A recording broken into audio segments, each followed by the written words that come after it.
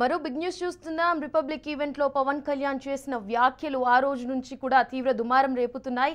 రోజుకో మలుపు తిరుగుతోంది. పవన్ కళ్యాణ్ చేసిన వ్యాఖ్యలకు సంబంధించిన ఇష్యూ ఏదైతే ఉందో వైసీపీ ప్రభుత్వంపై ట్విట్టర్ వేదికగా పవన్ కళ్యాణ్ తీవ్ర విమర్శలు సంధించారు. అన్ని వర్గాలను వైసీపీ నాశనం చేస్తుందంటూ కూడా పవన్ కళ్యాణ్ ట్వీట్ చేశారు.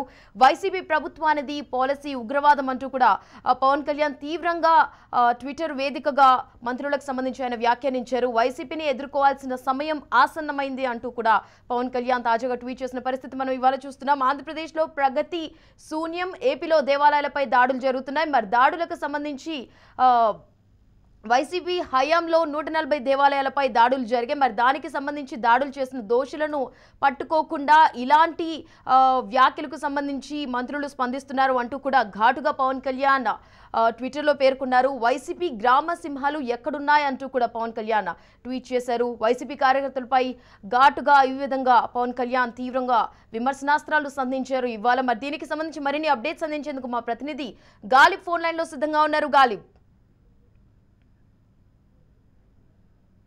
మధ్య వార్ తారాస్థాయికి చేరిందని చెప్పుకోవచ్చు మరో పక్క ప్రెస్ మీట్లు దాంతో పాటు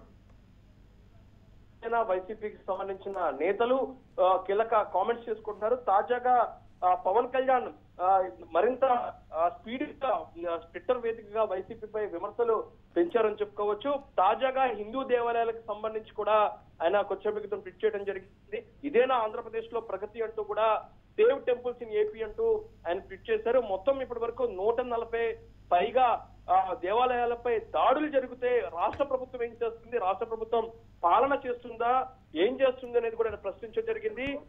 ఇలాంటి పరిస్థితుల్లోనే వైసీపీ గ్రామ సింహాలు ఎక్కడ ఉన్నాయి అనేది కూడా ఆయన కామెంట్ చేయడం ఇప్పుడు చర్చనీయాంశంగా మారింది. అదే ఇప్పటికే పలు అంశాలపై వైసీపీ ప్రభుత్వాన్ని ప్రశ్నిస్తున్న పవన్ కళ్యాణ్ డీటెయిల్ కామెంట్స్ చేస్తూ ట్విట్టర్ ద్వారా మాట్లాడడం జరిగింది. తాజాగా దేవాలయాల అస్త్రాన్ని ద్వారా ఎంతగా వైసీపీ వైఫల్యాలను తీసుకుంటూ కూడా పవన్ ఈ విధంగా ట్విట్టర్లు చేస్తున్నారు. దీనికి బదులుగా టీడీ వైసీపీకి సంబంధించిన మంత్రులు స్పందిస్తున్నారు. మరోపక్క బయట వైఎస్ఆర్ కాంగ్రెస్ పార్టీ ఎమ్మెల్యేలు దాంతో పాటు జనసేన తాజాగా కొద్దిసేపు కోసం కూడా ఆ పవన్కు కౌంటర్ ఇవ్వడం చూస్తే ఓవరాల్గా ప్రశ్న ఒకరిపై మరొకరు విమర్శనాస్త్రాలు తారాస్థాయికి చేరుకోవచ్చు చేరాయని చెప్పుకోవచ్చు ఆంధ్రప్రదేశ్ రాష్ట్రంలో. రానున్న రోజుల్లో ఇది ఏ విధంగా మలుపు తిరుగుతుంది?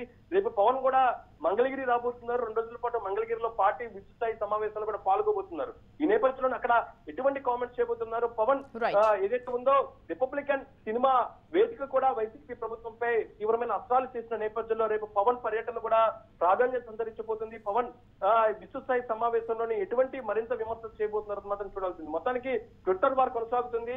జనసేన అధినేత దేవాలయాలపై దాడులకు సంబంధించి చేసిన నేపథ్యంలో వైసీపీ నుంచి స్పందన ఏ విధంగా ఉంటుందో చూడాల్సి ఉంది Bindu. Right right Ghalib thank you